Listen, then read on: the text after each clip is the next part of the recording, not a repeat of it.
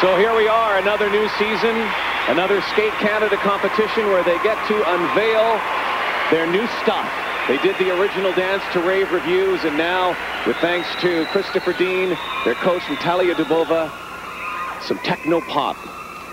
This is Victor Kraatz and Shae-Lynn Bourne. And meet her at the Love Parade by Da Hool.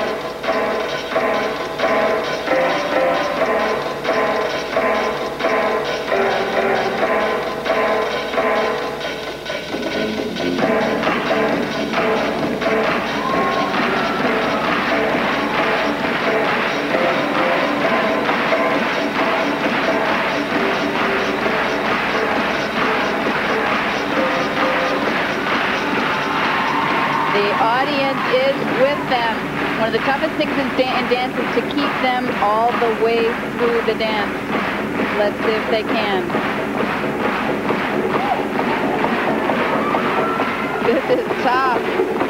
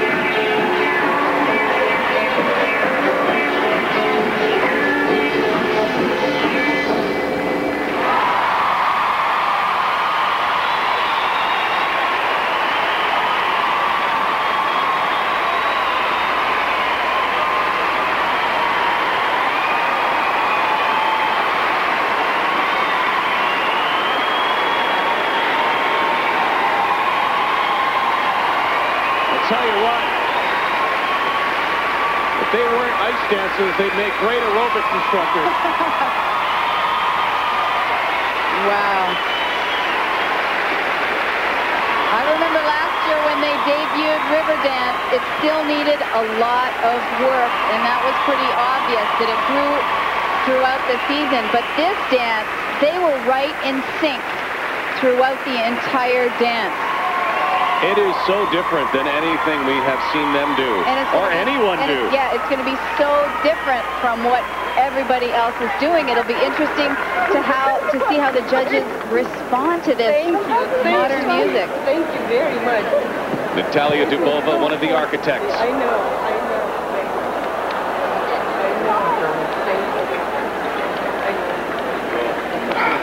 And that is tough. Some of these moves almost bordering on pairs moves. The, in particular, the uh, the spin. I've seen pair teams do the spin that they did, where they're both in a sit spin position, facing one another. Right here, we're going to see it. Look at this. Look at this. They look like pair skaters almost. Well, if you gauge by audience response, you know that they loved it. But I want to ask you the question, is this the type of program that is going to elevate them in the world? I don't know. We, we will not know until we see them up against the other teams ahead of them in the world, Krylov, Ovsyannikov, and Anissina and Peizerat. But we'll have to see how the judges respond to this very, very modern and different style. Their next assignment will be Nations Cup, and they will go head-to-head with the world champions, Krylova and Ovsyannikov. I, I, I loved how they just looked like they were having so much fun out Almost there. like a cheerleader competition. Marcus Yeah. Shae-Lynn Bourne and Victor Kraatz. There's a heart monitor, I guess. Whoa, these chest. are great. Five seven, five seven. And remember, this is an international judging panel. Five six, five eight, five seven. Very, very eight. good marks. So validation on a new Five free nine, dance. Oh, yeah. Wow. That has to feel good. Five eight, five nine, five eight, five eight. This will be the program. Riverdance did it last year for them. Meet her at the Love Parade. Da Hool. Will this do it for them this season on their way to the World Championships? Bourne in Kraatz, Ladies and gentlemen, this concludes the Five-time Skate. Canada International champions. Medalists for the Five in a row. but this one was exhausting. Celebration for Bourne in Kraatz. Five in a row at Sun Life Skate Canada International. $30,000, no rest for the weary. They're off to Germany for the Nations Cup, where they'll compete against Krylova and Ovsyannikov. They are the winners. Drobiazko and Vanagas in second.